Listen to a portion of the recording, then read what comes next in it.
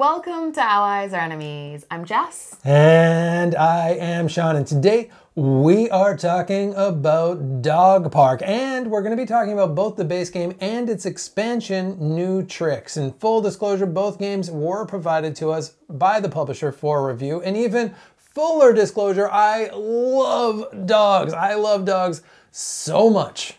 The games were designed by Lottie and Jack Hazell, and it is all about getting different types of dogs and taking them for walks, giving them treats and toys along the way. So before we get too into it, let's take a look at how it plays.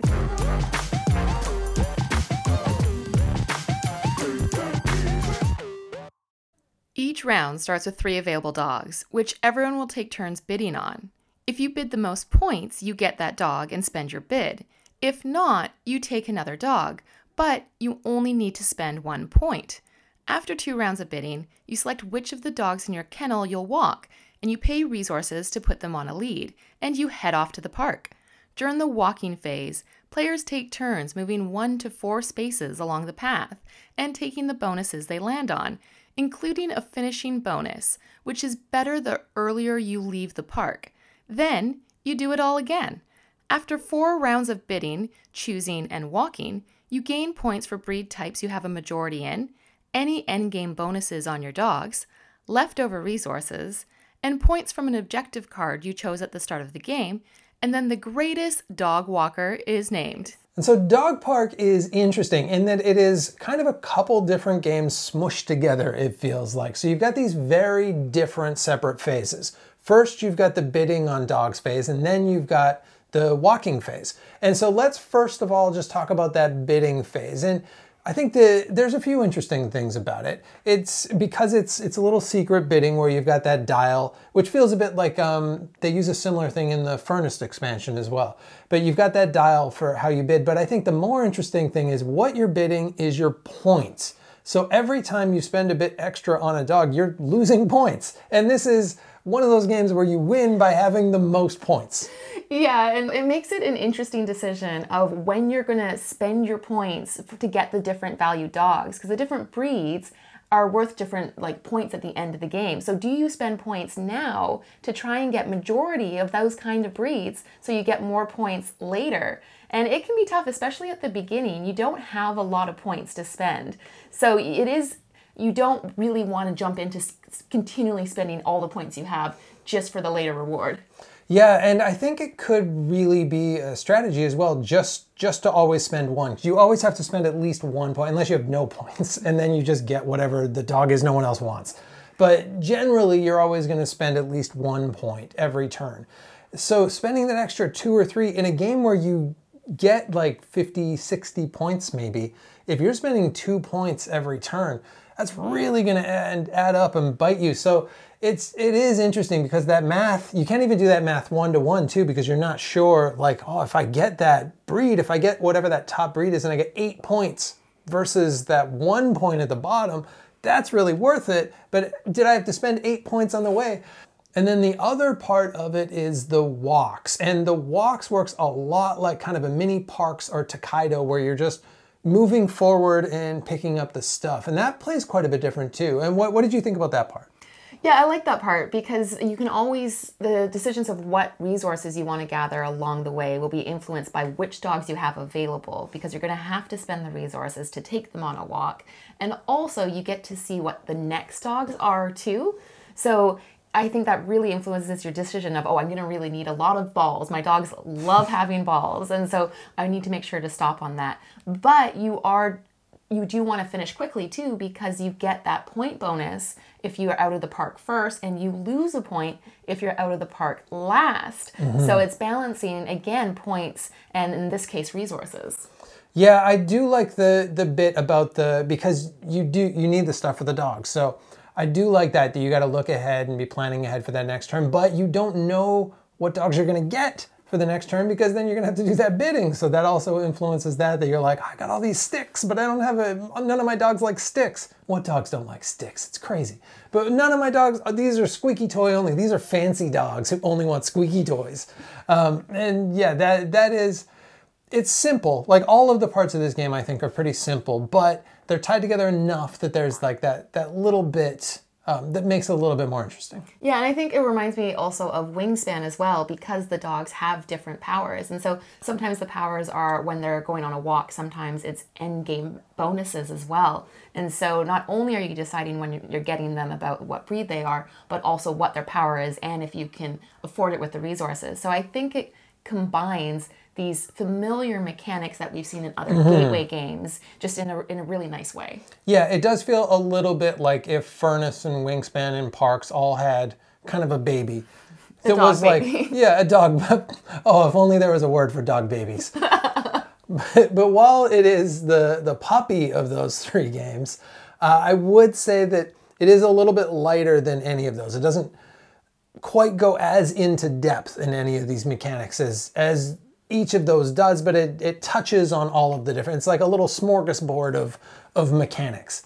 Um, but let's talk about the, uh, the components as well, because I think the components are, are definitely a highlight here. Yeah, because this is very much going to appeal to people who really like dogs, and there is a lot of dog art. You know, mm. all of the cards are different cards. They're all like hand drawn, and they all look really good as well. And I think the meeples, because your your little meeple, even though it's bigger than a meeple, is walking a dog, and you have a little dog one that's screen printed too, which is nice. Yeah, I, I think they, they did a really good job, really across the board, and even the little things like the um, like the the the tray that you put all of your resources in. It's shaped like a bone, and that's really nice. And it's got that thing like Parks, where they got two different trays that you've got your stuff in, so they can be in two places on the table. I think that's a great touch. The more games should do. Even the box insert, I think, works well. So I think just overall, there's not really any problems with any of the, the components. And that dog art especially really shines. And I will gun for the dogs that are especially cute. If it's big and fluffy, I'm gonna go for that dog. I would rather have a bunch of big fluffy dogs than win the game, I think.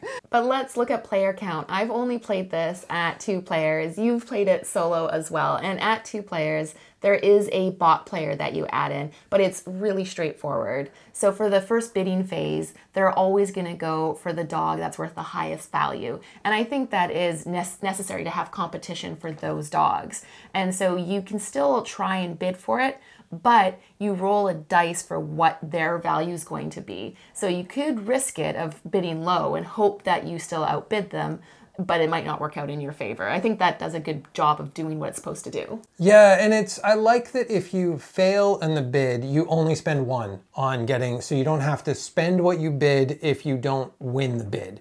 But it, it is good that it always goes for that highest dog. And a thing that we didn't talk about too is I like that the dogs don't have points on them. Those points shift each time depending on just the breed. So the dogs aren't inherently worth more than other dogs. That changes all the time. But yeah, I, I think I think that works really well. And it's a fun, it's almost more fun, I think, like rolling the dice than just trying to math out like, oh, okay, she can only spend three, so if I spend four, I'm definitely gonna get it. But with the bot, you never know. They're a real, they're a real wild card. And then for the walk as well, they just um, you roll the dice as well, and they just move that amount. So they can really rush you, or if you're rolling a lot of ones, you can just gather all sorts of resources. Yeah, I think it does a good job of simulating a third player, but with very little upkeep.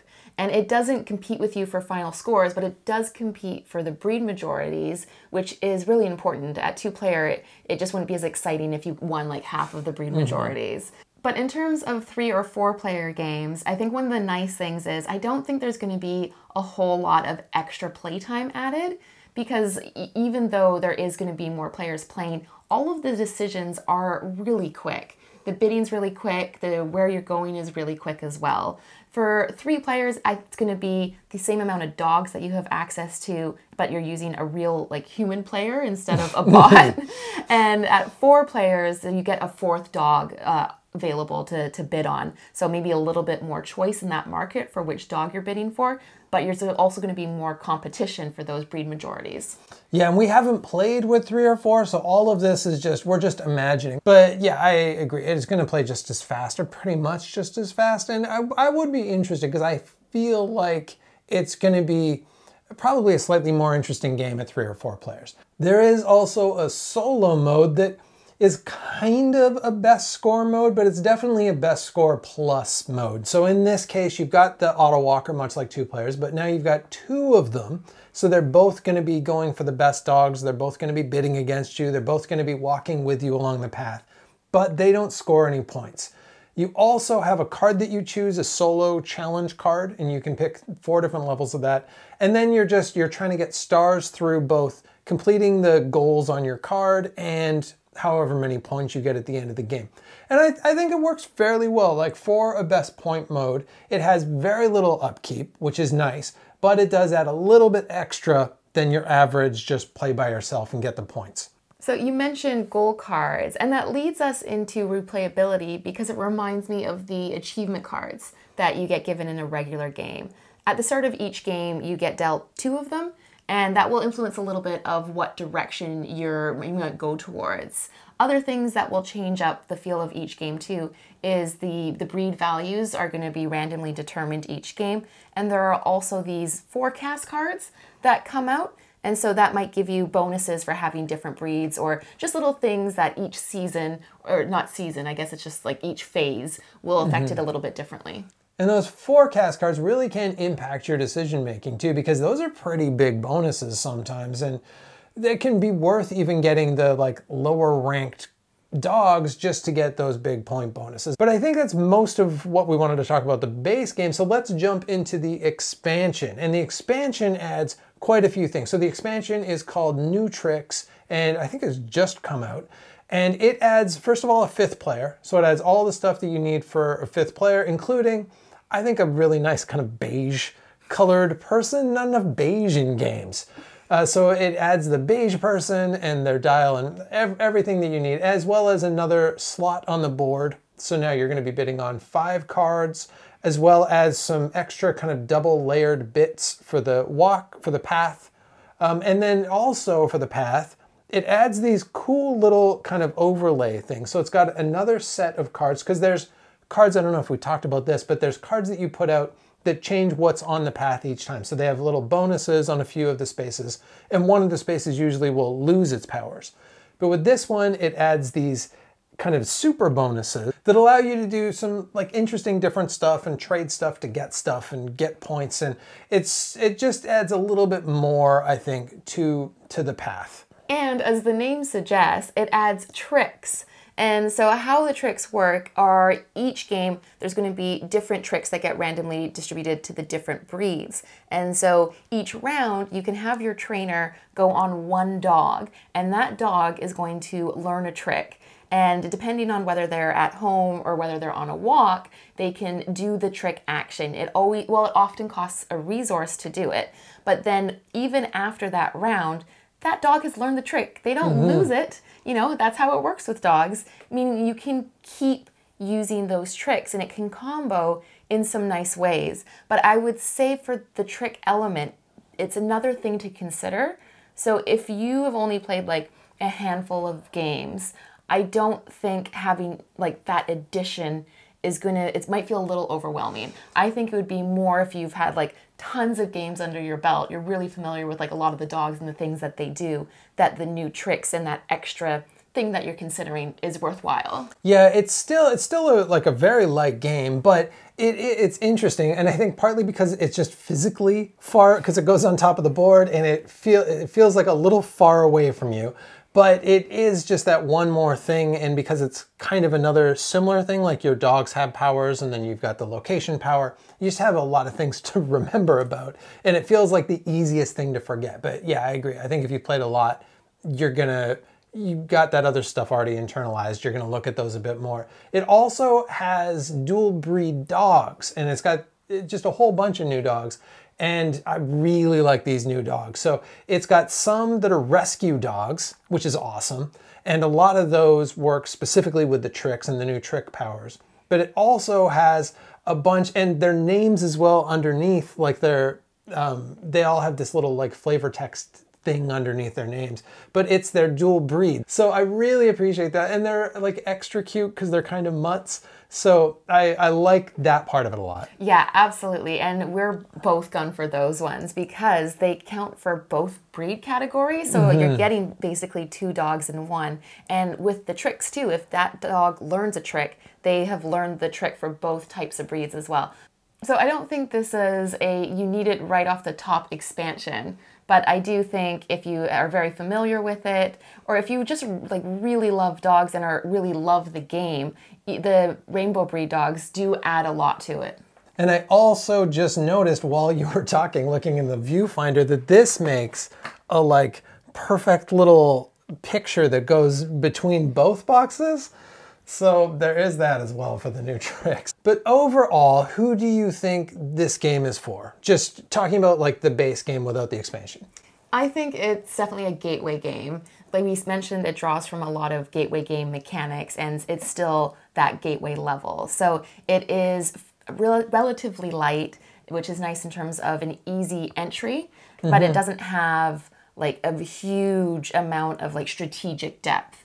It is that that gateway weight for bringing new players in, but it's also for dog lovers because it's all about these adorable dogs and it does a really good job of putting you in a in a dog world. You want to get all the dogs and you want to walk all these dogs.